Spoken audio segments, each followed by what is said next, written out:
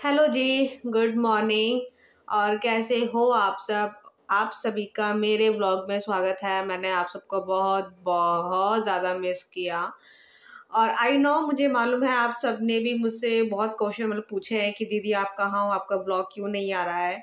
तो मैंने आप सबके कमेंट पढ़े तो हैं, बट रिप्लाई नहीं किया है मैंने।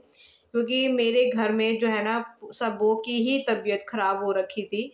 इसलिए जो है ना, मैंने कोई ब्लॉग शूट नहीं किया और ये वाला जो ब्लॉग है, ये होली के बाद का मतलब नेक्स्ट डे का है। मेरे, मैंने आपको मालूम, बताया था ना कि आरना की तबीयत ठीक नहीं है, उसको फीवर आ रहा है, एक सौ चार फीवर है उसको। तो उसकी ना, उसको मुझे एमरजेंसी में लेकर जाना पड़ा। फिर उसके बाद युवान की तबीयत ख़राब हो गई, उसको भी मुझे हॉस्पिटल लेकर जाना पड़ा। तो यही चल रहा है घर के अंदर। इस वजह से जो है ना, मेरे व्लॉग नहीं आ रहे थे। मैं सारा जो फोकस जो है ना, मैं अपने घर में, अपने बच्चों के और अपने हस्बैंड के ऊपर ही दे रही हूँ। क्योंकि जब घर में किसी की तबीयत ख़राब होती है, ख़ास करके बच्चे, इनकी ज़्यादा तबीयत ख़राब होती है ना तो कुछ भी मन नहीं करता है। किसी भी चीज़ का मन नहीं करता है। मैं और मेरे हस्बैंड दो दिन से पूरी पूरी रात हो गई, निकल गई। मतलब हम सोए नहीं, नींद तो एकदम ऐसे कह लो कि उड़ी गई थी कि जब आरना का फीवर एक सौ चार पहुँच रहा था ना तो हालत बहुत ज़्यादा ख़राब हो रही थी। तो इसलिए ना मन नहीं कर रहा था कि मैं कोई ब्लॉगिंग शूट करूँ, बिल्कुल मन नहीं कर रहा था। फिर भी मैंने थोड़ी थोड़ी जो है ना ब्लॉगिंग कर ली है। अच्छा ये जो मुझे नहीं मालूम ये वाला ब्लॉग कौन से दिन का है, क्योंकि इतने दिन हो गए हैं ना, मुझे कुछ नहीं मालूम कि कौन से दिन का यहाँ तक कि डे भी नहीं पता मुझे, क्योंकि कौन सा डे है।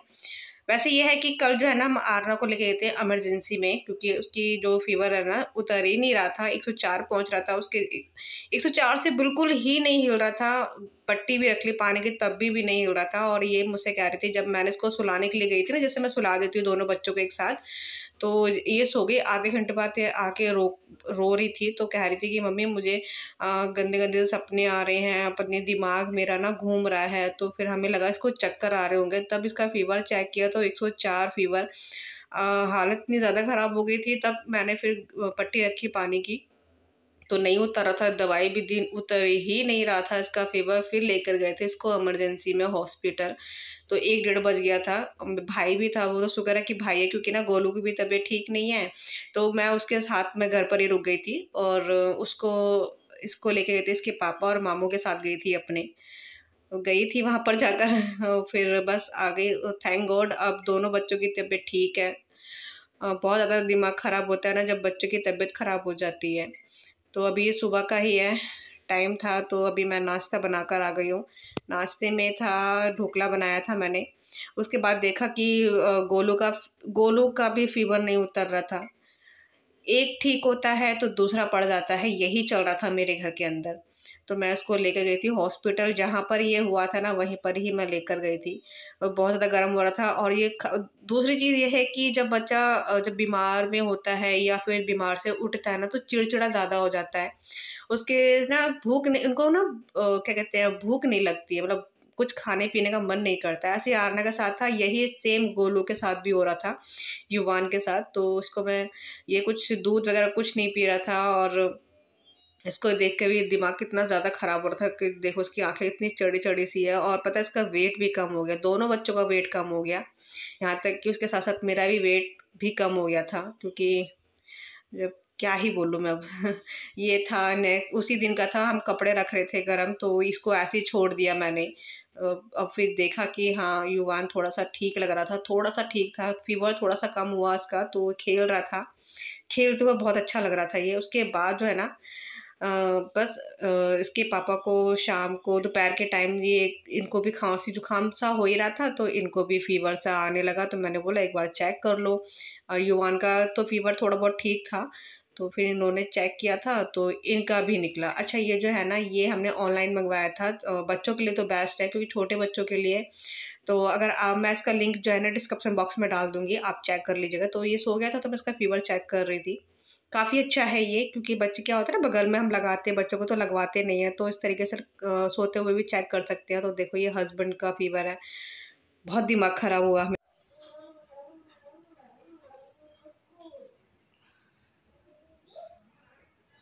कानों के उतार दिए बहुत ना दर्द कर रहे थे। एकदम उसको उतारो तो उसमें ना ईचिंग ज़्यादा होती है। और मैं डालती नहीं ना तो एक बार भी डाल लेती हूँ ना तो कान दुखने लगते हैं। इस वजह से मुझे कहीं आना जाना होता है ना तभी डालती हूँ वैसे नहीं डालती मैं।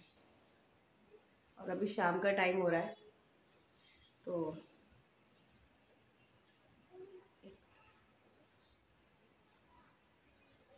शाम का टाइम हो गया है, अब बस थोड़ा सा लेट ही थी मैं।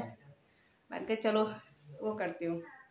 फिर नहाने जाना है, मुझे नहाई भी नहीं हो अब दोनों बच्चे भी खेल रहे हैं। क्या कहते हैं, कल उसको कल आरना को इमरजेंसी में लेके जाना पड़ा, उसका फीवर नहीं उतर रहा। 104 फीवर 104 103 ऐसे हो रहा था, क्योंकि वायरल चल रहा है ना। एक्चुअली क्या है ना, जब वो हम घर गए थे, मैं बताया था ना, जब मैं घर गई थी तो वहाँ पर उसने ना आइसक्रीम खा ली बनाना खा लिया। उसके बाद उसको खांसी, जुकाम हुआ। और छोटी होली जब छोटी होली से पहले उसको ना सोमवार की शाम को हुआ था सोमवार सोमवार की रात को ऐसे कोई जब मैं उसको सुलाने गई थी तो गर्म लग रही थी। जब मैंने उसको फीवर चेक किया तो 101 फीवर फिर वही मैंने बताया ना कि गोलू की दवाई मैंने पिला दी थी तो उसका फीवर उतर गया। फिर सुबह देखा तो सुबह भी था। करते करते फिर होली वाले दिन भी उसको फीवर था। 101, 102, 103, 104 भी पहुँचा था उसका तो उसकी पट्टी रखी। होली वाले दिन मुझे लगा ठीक हो गई है। उसको नीचे लेके गई थी कि ताकि जो माइंड होता है ठीक हो जाए एकदम से माइंड फ्रेश हो जाए तो बच्चा वो चीज़ भूल जाता है। वहाँ से लेकर आई छोले भटूरे खाई रही थी मैं। वो देखा एकदम से उसकी आँखें फिर से चढ़ने लगी फिर देखा कि फिर से एक तो दो फीवर उसको। अच्छा मैं आ रही हूँ बेटा। मैं कह रही थी, दोनों खेल रहे हैं, वो उठ गया ना इसलिए ऐसे करते रहे, होली भी निकल गई, अगले दिन त्योहार होते हैं ना तो सब अपने अपने घर चले जाते हैं। फिर डॉक्टर भी नहीं मिल रही। तीन दिन, चौथे दिन जाकर मुझे डॉक्टर मिला, जिससे हम आरना की दवाई लेकर आते हैं। उसने चेक वेक किया और उसके बाद उसने मेडिसिन जो थी, जो हम उसको पहले वाली मेडिसिन पिलाए थे ना, उससे तो बुखार उतर रहा था। और फिर छः घंटे का असर इससे ख़त्म होता है, फिर चढ़ जाता था। ये हो रहा था। फिर हमने डॉक्टर को बताया कि हमने इसको ये वाली दवाई पिला रहे हैं, ऐसे ऐसे करके। तो उसने डॉक्टर ने चेंज करके दी। हमने वो पिलाई। उससे तो फीवर उतरने का नाम ही नहीं ले रहा। मतलब हमें लगा कि कम हो जाएगा, कम हो जाएगा, कम ही नहीं हो रहा, और बढ़ रहा था उससे। मतलब वो जो दवाई थी ना, उसको असर नहीं कर रही थी। फीवर, उसके पास खांसी जो था, उसमें आराम था, उसके जुकाम में आराम था, बट फीवर में कोई आराम नहीं था। फिर रात को भाई आया हुआ, भाई आया हुआ था। मंडे ही हो गया था आई थिंक मंडे था नहीं, कौन, क्या, कौन सा था? शायद मंडे था। भाई आया हुआ था तो ये दोनों रात को मतलब वो कह लो कि ना 104 फीवर एक तो देखते डर लग जाता है ना। डेढ़ बज गया, उसका बुखार में तरह मैंने गर्म गर्म क्या ठंडे पानी की पट्टियाँ रखी पूरी बॉडी को उसकी पानी से मतलब करती रही कि उतर जा, उतर ही नहीं रहा था। फिर इमरजेंसी में रात को लेके गए डेढ़ बजे करीब। तो हॉस्पिटल लेके गए थे तो डॉक्टर ने यही बोला कि मैं भी उसको ना यही दवाई दूँगा। अगर फीवर जैसे नहीं उतरता है तो नहीं, उन्होंने मुझसे बोला, मैं तो गई नहीं थी, यही गए थे, क्योंकि मैं गोलू के पास भी थी और उसको भी फीवर आ रखा था। तो उसको खांसी जुकाम तो था, उसको भी फीवर आ गया। तो मैं उसके पास ही थी तो ये ये और भाई गए थे, ये दोनों ही गए थे। इसको लेकर डेढ़ बजे, फिर वहाँ पर बताया कि ऐसे ऐसे हो रहा है, ये वाली दवाई पिला रहे हैं, इससे कोई असर नहीं हो रहा है। तो उन्होंने बोला कि अगर मैं भी, अगर आप मुझसे भी दवाई लेते हो ना तो मैं भी यही वाली दवाई दूँगा। तो आप ऐसे करना कि जो फ्रीजर, जो बर्फ़ होती है ना, बर्फ़ से ही इसके बगल पे, माथे पर रखो, है ना, ठंडी, बिल्कुल चिल्ड वाली पट्टी रखो। जैसे फ्रीजर में से बर्फ़ निकाल के फटाफट से उसमें डिप करके पट्टी को फिर रखो। तो अगर बुखार उतर जाता तो ठीक है, नहीं उतरता है तो फिर एडमिट करना पड़ेगा। ऐसे बोला उन्होंने। फिर वही मैं, इन्होंने, मैंने उनको फ़ोन किया कि क्या है? तो उन्होंने फिर उन्होंने मुझे बताया तो फटाफट से ना मैंने फ्रिजर में ना पानी रख दिया था ठंडा। वो जब तक तो मौसम, वो हो ही गया था ठंडा, फिर रखा उसकी आई थी, तब भी 104 फीवर एसी में भी रखा था, पता है? एसी में रखा, मुझे लगा कम होगा कम होगा। अब इसको एसी में रखते ही ना तो कोल्ड हो गया कोल्ड की वजह से एक डिग्री और इसका बढ़ गया। तो ये था। फिर वही ठंडे पानी की पट्टी रखी, जब लगा ना कि हाँ एक सौ चार से, एक सौ चार पॉइंट चार था, जब ऐसा लगा कि एक सौ चार से दो हुआ तो थोड़ा सा लगा कि हाँ धीरे धीरे उतर रहा है, उतर रहा है। फिर ऐसे करते रहे तो जा, दो, इसको भी ढाई बज गया, पट्टी रख रख के, रख रख के ढाई बज गया, तब जाके इसको 102 फीवर आया, और उसको पता है क्या, चक्कर भी आ रहे थे एकदम से। जब 104 फीवर आता है तो आप सोच सकते हो क्या हालत हो जाती है। बड़ों के इतनी ऐसे हो जाते तो छोटों को तो और भी छोटी हो, क्या हालत, कह रहे मुझे चक्कर आ रहे हैं। तो डर तो लगता ही है। फिर 102 में इसको सुलाया, कह रही थी हमें नींद आ रही एक सौ तीन हुआ। तो हमने नहीं सोने दिया। अब समझ नहीं आ रहा क्या बोलो। तो एक सौ दो हो गया, तब इसको सुलाया, दवाई पिलाकर। अच्छा फिर सुबह नेक्स्ट देखती रही मगर फीवर ठीक है ठीक है। नींद नहीं आ रही पूरे दिन नींद नहीं आई मुझे पूरी रात हाँ पूरी रात नींद नहीं आई थी मुझे। देखती रही देखती रही, साढ़े छः सुबह के साढ़े छः बजे मैंने चेक किया, उसका फीवर उठाकर तो देखा, फिर से एक सौ चार फीवर, फिर मैंने पट्टी रखने से मना कर रहे थे, क्योंकि बॉडी में ठंडी ठंडी पट्टी रखते ना तो वो होता है। फिर मैंने ज़बरदस्ती रखी।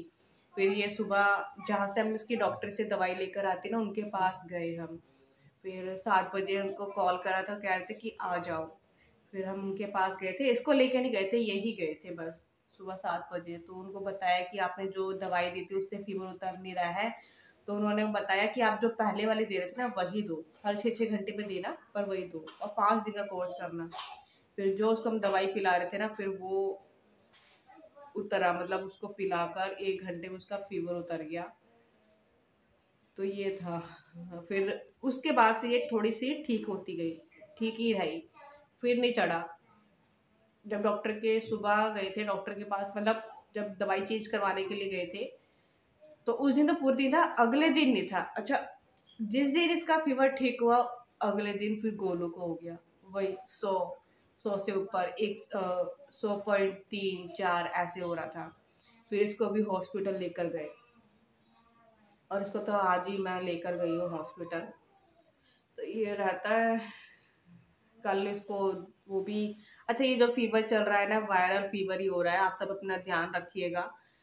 गोलू तो मतलब अभी तो थोड़ा सा ठीक है, खेल रहा है। और खेलते बच्चे बहुत अच्छे लगते हैं। चाहे बच्चे शैतानी कर रहे हो, कुछ भी कर रहे परेशान कर रहे हो, खेलते खेलते।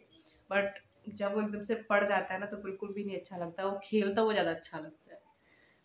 तो अभी मेरे हस्बैंड को आ गया है। अब मैंने उनको बोला कि आप ले लो, फिर वो दवाई ले ले आना तो जाएँगे शाम को। अभी ये मुझसे कह रहे कि तुम मत हो जाना, मेरे से थोड़ा दूर रहना। कि मुझे भी खांसी खांसी जुकाम मुझे भी हो गया है। बस मैं नहीं पढ़ना चाहती इसमें ना बहुत, सच में अगर मैं पढ़ गई तो मैं कैसे करूँगी, मुझे नहीं मालूम। अब मैं आपको दिखाती हूँ कि इसकी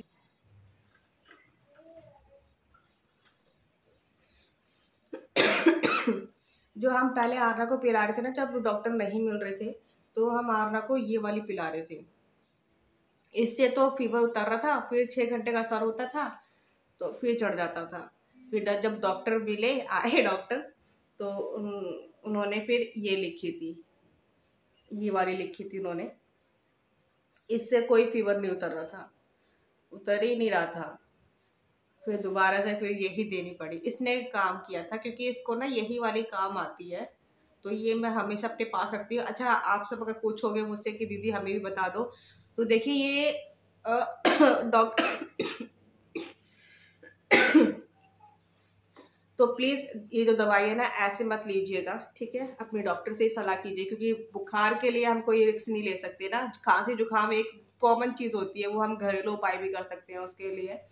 बट फीवर के लिए कोई रिक्स नहीं ले सकते, इसलिए आप अगर मुझसे पूछोगे कि दीदी कौन सी दवाई है, मुझे भी बताइए, हमें भी बताइए इस तरीके तो मैं आपको बता तो दूँगी बट ना आप मत ट्राई कीजिएगा, क्योंकि जब आप अपने डॉक्टर से सलाह लोगे बुखार के लिए, वो बच्चे को अकॉर्डिंग बच्चे का वेट कितना है बच्चे का फीवर कितना है है ना बच्चे की एज क्या है, उसके उसके अकॉर्डिंग ही दवाई दी जाती है तो बस ये है कि मैं बस यही बोल रही हूँ कि आप पत, आ, ऐसे करके दवाई मत लीजिएगा।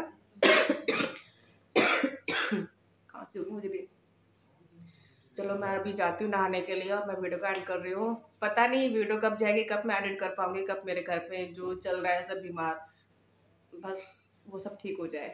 ठीक है? मिलेंगे नेक्स्ट वीडियो में। नींद बहुत तेज आ रही है मुझे। तब तक के लिए बाय बाय टेक केयर